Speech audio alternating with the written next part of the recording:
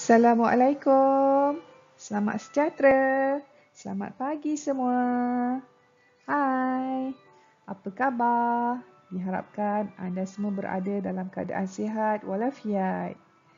Bertemu lagi kita dalam subjek kemahiran manipulatif tahun 1 masalah pembelajaran. Mulakan hari anda dengan senyuman. Manisnya muka dia. Okey. Dah bersedia untuk topik kali ini? Jom kita mulakan. Okey, untuk topik kali ini masih di bawah kemahiran motor kasar halus.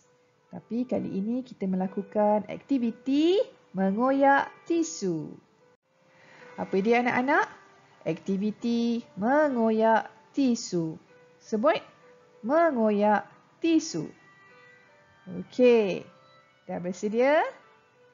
Okey, jom.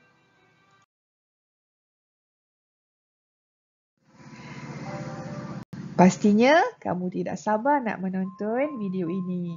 Okey. Lihat dulu, tonton, kemudian baru lakukan aktiviti ini, okey? Dah bersedia? Satu, dua, tiga. Assalamualaikum dan selamat sejahtera. Hai. Hai. Bertemu lagi kita dalam subjek kemahiran manipulatif tahun 1. Okey, hari ini kita akan melakukan aktiviti mengoyak tisu. Apa bahan yang kamu perlukan ialah sehelai tisu. Sama ada tisu di dapur ataupun tisu yang biasa kamu gunakan. Okey, Gunakan kedua-dua belah tangan kamu sambil mengoyakkan tisu tersebut secara perlahan-lahan dahulu. Goyak. Goyakkan. Ini bagi memastikan kamu menggunakan pergerakan motor kasar halus kamu dengan betul. Okey, goyakkan lagi tisu tersebut.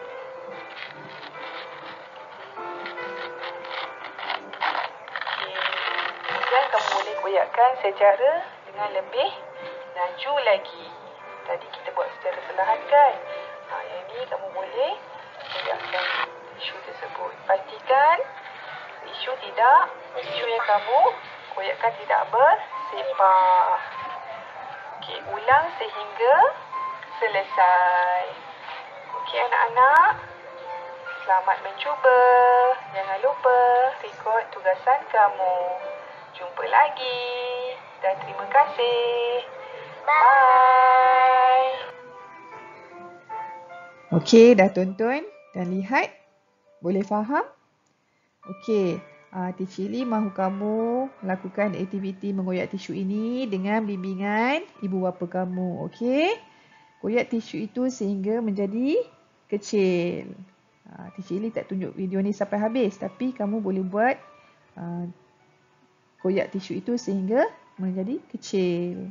Dan jangan lupa rakam video kamu melakukan aktiviti mengoyak tisu. Okey? Boleh? Bagus. Tahniah. Dan semoga kamu berjaya melakukan aktiviti ini.